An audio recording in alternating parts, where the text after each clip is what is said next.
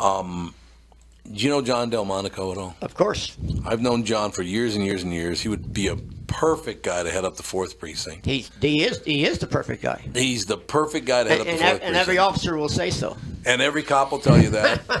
uh, Janeé Harteau, I get along with her famously. She's terrific. I don't get a lot of chances to talk to her. I do. She's she's she's an amazing woman. She's an amazing woman. She wants John Delmonico, but our mayor does not want John Delmonico. Said she got blindsided.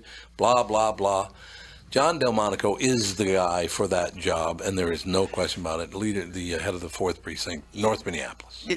People don't realize, even people who live in Minneapolis don't realize, Minneapolis has, there's two types of, of city governments. There's a weak mayoral government, and then there's a strong mayoral government. Minneapolis is a weak mayoral government. Right. That means our mayor has very limited power.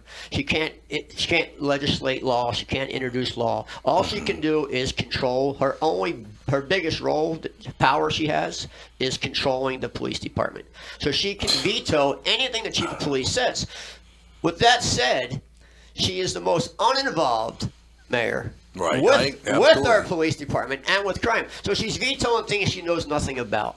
And for her to kick the Delmonico to the curb, a lot of people are very upset. Uh, Is there any shot he's going to get it done, or is As, it just? as as far as what I'm hearing, no.